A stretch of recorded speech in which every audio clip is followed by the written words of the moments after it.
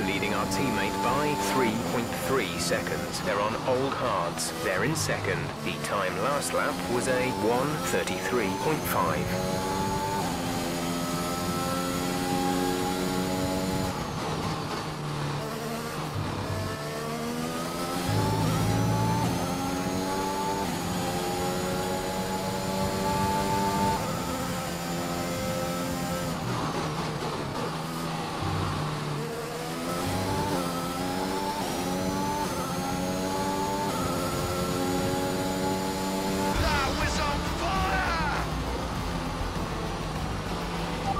Superb driving.